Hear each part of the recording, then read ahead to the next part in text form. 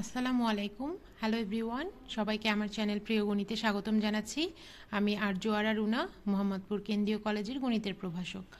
আমি তোমাদেরকে fundamental of mathematics পড়াচ্ছি। এটা নন মেজর এবং মেজর মানে ম্যাথমেটিক্সে যারা মেজর এবং ফিজিক্স কেমিস্ট্রি মনোবিজ্ঞানের নন মেজর যারা, তাদের সবারই কাজে লাগবে।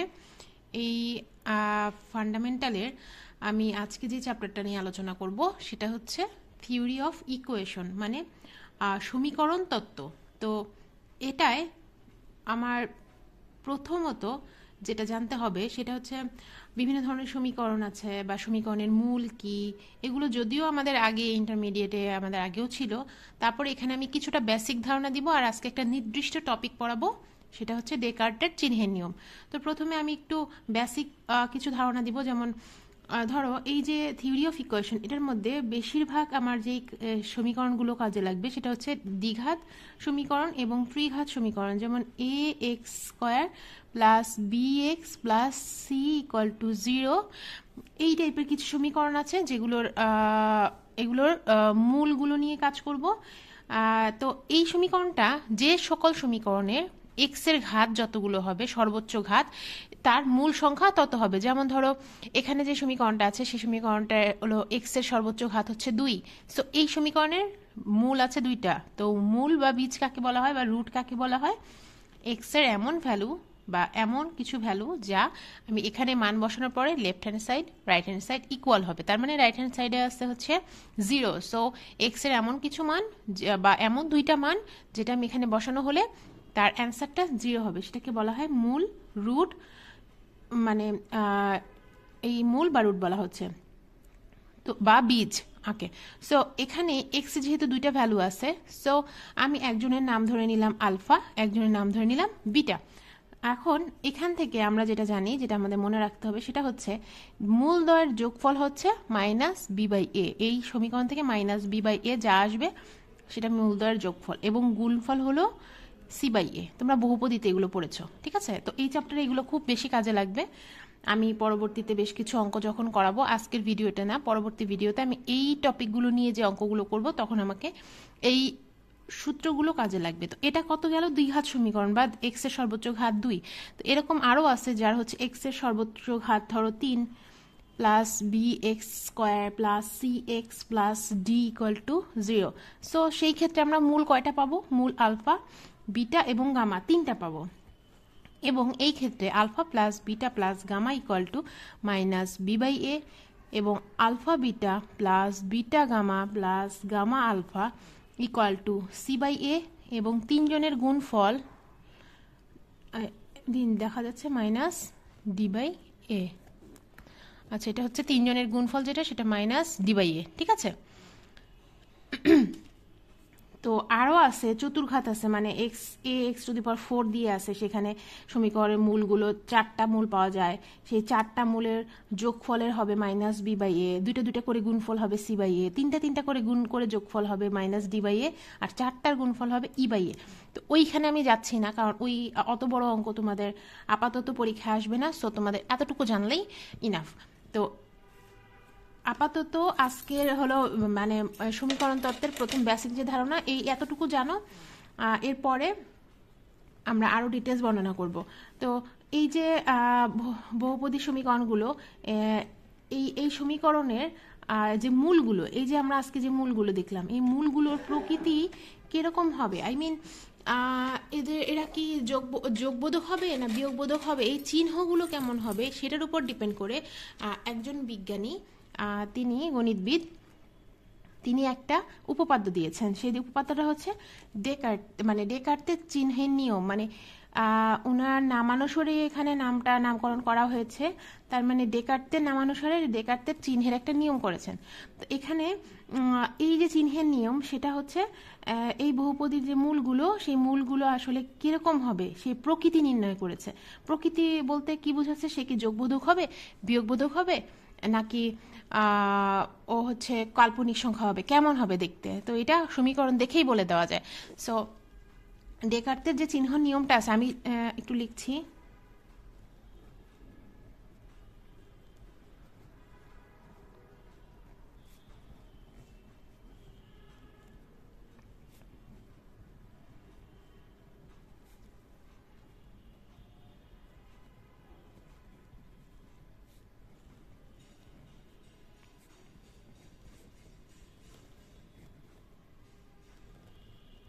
ওকে ডেকার্টের রুল অফ সাইন সো আমি সূত্রটা এখন বলব হ্যাঁ? একটু খেয়াল করবে।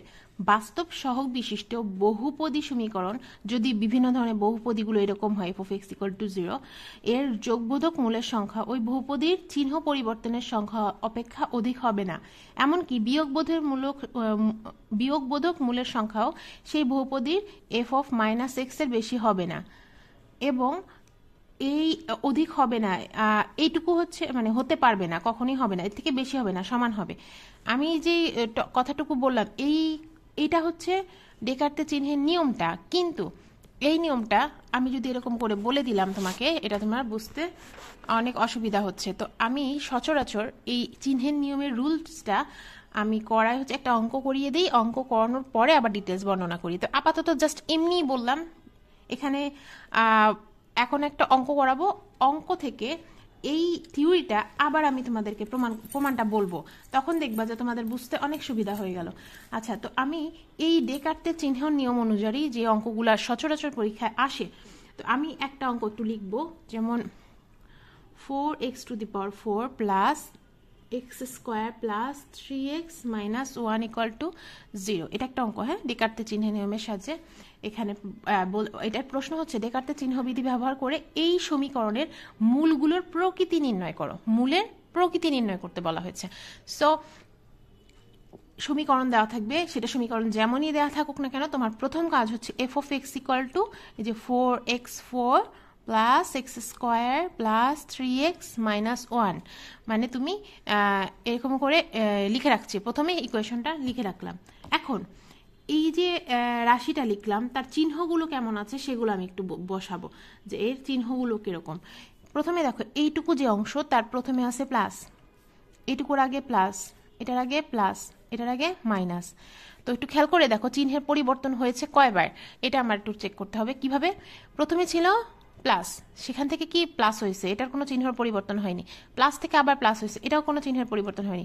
লাস্টলি প্লাস থেকে মাইনাস হয়েছে, তার মানে এখানে একটা চিহ্নের পরিবর্তন হয়েছে, ঠিক আছে?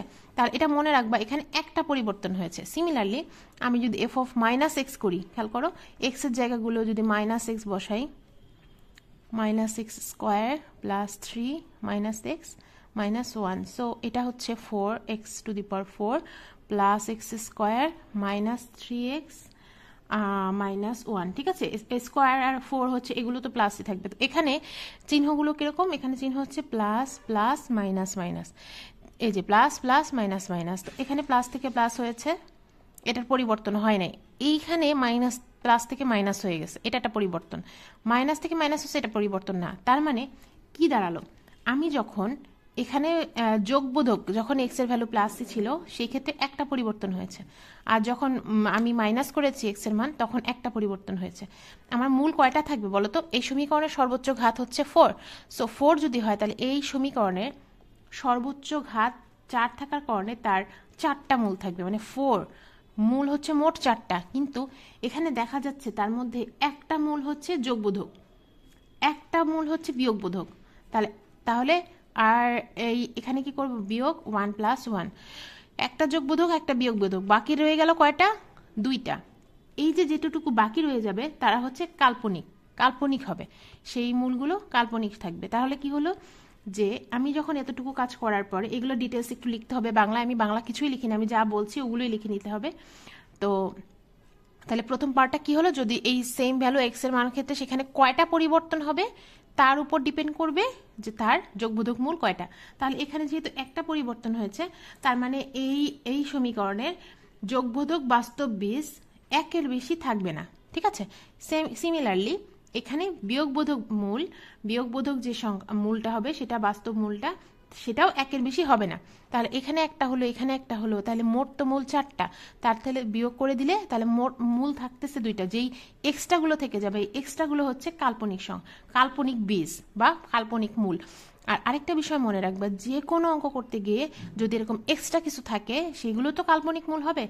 কিন্তু কাল্পনিক মূল কখনোই বীজোর সংখ্যক হবে না। আই মিন তারা অলওয়েজ জোড়ায় জোড়ায় থাকবে। হয় থাকবেই না জিরো অথবা দুইটা থাকবে, অথবা চারটা থাকবে, অথবা ছয়টা থাকবে মানে জোড়ায় জোড়ায় থাকবে।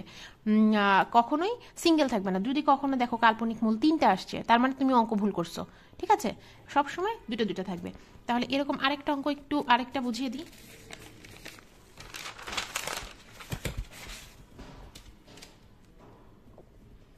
আরেকটা অঙ্ক আছে।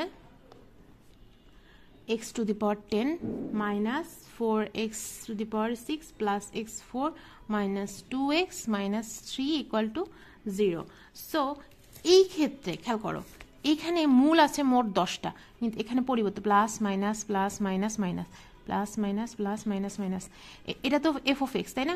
আমি আগে লিখলাম না, আগে এফ অফ এক্স থেকে যখন পাবো সেটা হচ্ছে four x six plus x to the power four minus two x minus three মানে ফাংশনটা আমি এখানে বসিয়েছি। তো ওখানে যে অনুপাতগুলো আছে, এখান থেকে পরিবর্তন দেখি। প্লাস থেকে মাইনাস হয়েছে, এটা একটা পরিবর্তন। মাইনাস থেকে প্লাস হয়েছে, এটা পরিবর্তন। প্লাস থেকে মাইনাস এটা পরিবর্তন। মাইনাস থেকে মাইনাস এটা পরিবর্তন নয়। তাহলে এর যোগবোধকের ক্ষেত্রে পরিবর্তন তিনটা। আর এফ অফ মাইনাস এক্স যদি হয়, সেক্ষেত্রে minus x to the power 10 minus 4 minus x to the power 6 plus minus x to the power 4 minus 2 minus x minus 3 এখান থেকে আসতেছে uh, x to the power 10 এটা minus 4x 6 minus uh, plus x4 um, plus uh, 2x minus 3 so এখানে হচ্ছে plus minus plus plus minus okay, এখানে পরিবর্তন একটা, দুইটা, এখানে হয় নাই, এখানে একটা, তিনটা। তার মানে এখানেও তিনটা পরিবর্তন হয়েছে, ঠিক আছে? তাহলে কি হলো? যোগ বোধকের ক্ষেত্রে তিনটা পরিবর্তন, বিয়োগ বোধকের ক্ষেত্রে তিনটা পরিবর্তন, কিন্তু আমার তো মোট মূল আছে দশটা। তাহলে বিয়োগ করো, তিন, three plus three equal to four. এখন দেখো, তাহলে যোগবোধক ক্ষেত্রে তিনটার বেশি হবে না বিয়োগবোধকের বেশি তিনটা বেশি হবে না মানে সর্বাধিক তিনটা ধনাত্মক মূল আর তিনটা ঋণাত্মক মূল। তাহলে বাকি যে চারটা রয়ে গেল এই চারটা কি? তাহলে এই চারটা হচ্ছে কাল্পনিক মূল। তাহলে আমার অঙ্ক কিন্তু এটা ডিটেলস লিখে দিলেই ডেকার্তের চিহ্নের নিয়ম অনুযায়ী মূলের প্রকৃতি বের করা হয়ে গেল। তাহলে এবার আমি আবার ডেকার্তের চিহ্নের নিয়মটা একটু বলব, একটু খেয়াল করবা। উনি বলেছিলেন যে বাস্তব সহগ বিশিষ্ট বহুপদী সমীকরণ f of x equal to zero এর যোগবোধক মূলের সংখ্যা বহুপদীর এফ অফ এক্সের চিহ্নের পরিবর্তনের সংখ্যার অধিক হতে পারে না। মানে প্রথম ক্ষেত্রে বলেছে f of x equal to একটু সমীকরণ, যেখানে যোগবোধক মূল এফ অফ এক্সের যে চিহ্নগুলো আছে, তাদের পরিবর্তন যতগুলো হবে, তার থেকে বেশি হবে না। আর বিয়োগবোধক মূলের সংখ্যা এফ অফ মাইনাস এক্স এখানে যেগুলো পাবা, তার থেকে চিহ্নের পরিবর্তনের সংখ্যা অধিক হতে পারে না। এটাই যে ঘাটতি চিহ্ন নিয়ম ছিল। যদি এক মার্কের আসে, এই কথাটুকু লিখে দিলেই তুমি এক পাবা। আর আর পরীক্ষা নর্মালি দেখার্তে চিহ্ন নিয়মটা লিখতে বলে এবং সাথে একটা অঙ্ক আসে। তো আশা করি তোমরা সবাই বুঝতে পেরেছ। এখান থেকে একটা পরীক্ষায় আসার কথা নন মেজরও আসে মেজরও আসে। যদি কারও কোথাও প্রবলেম থেকে থাকে, আমাকে কমেন্টে জানাতে পারো। নেক্সটে আমি আবার নতুন কোনো টপিক নিয়ে ক্লাস দেওয়ার চেষ্টা করব। এ পর্যন্ত, আজকে এই পর্যন্তই থাকুক। সবাই ভালো থেকো, সাবধানে থেকো। আল্লাহ হাফেজ।